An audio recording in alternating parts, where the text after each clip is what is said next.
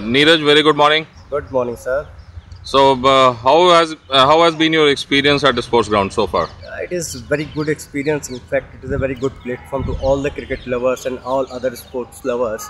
And uh, you know, uh, this time again we have won the toss, and again uh, we will back first and try to maintain our last record, put 200 plus runs on the board, and put pressure on the opposition. And we- know that there is Sanjay ji and Mohit Bhai a very good uh, chance. Yeah, looks like you are quite enthusiastic about today's match. Thank you very much. All you, the sir. Best. All the best and uh, may the best team win. Any you. any change in your team today? Yeah, there are three changes. Nitin, Shubhang, and Parvesh is not playing in spite of uh, uh, one more player are not playing, Nitin.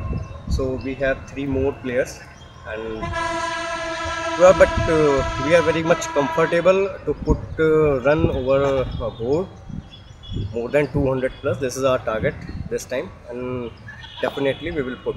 Okay, good luck. 210 Plus. Thank you. Thank you.